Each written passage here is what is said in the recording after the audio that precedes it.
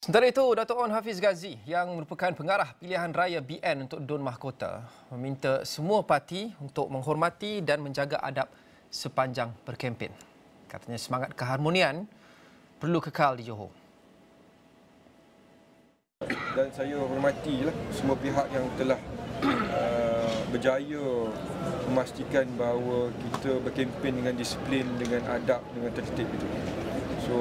Saya harap semangat itu dapat kita teruskanlah untuk PRK di Luar Kota insyaAllah.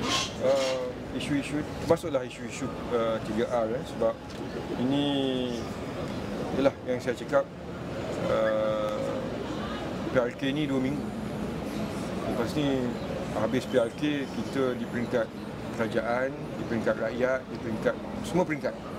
We'll go back to the normal routine iaitu ialah kita mencari rezeki, mencari nafkah di peringkat negeri, kita nak bangunkan negeri.